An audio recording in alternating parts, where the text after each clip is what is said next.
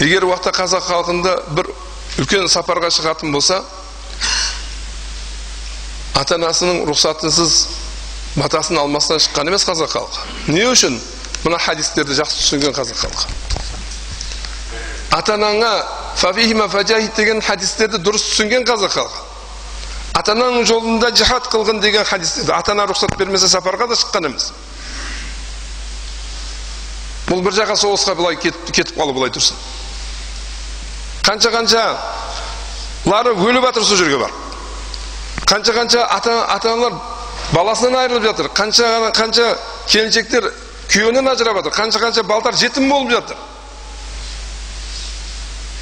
ислам соған бұйырады ма ислам ең бірінші тыныштыққа бұйырады ислам ең бірінші осы тыныштың қадірін білуге бұйырады құран кәрімде алла субханала тағала дейді егер сіздер біз берген нығметтерге шүкіршілік етсеңдер біз сіздерге еселеп беріп қоямыз дейді алла субханала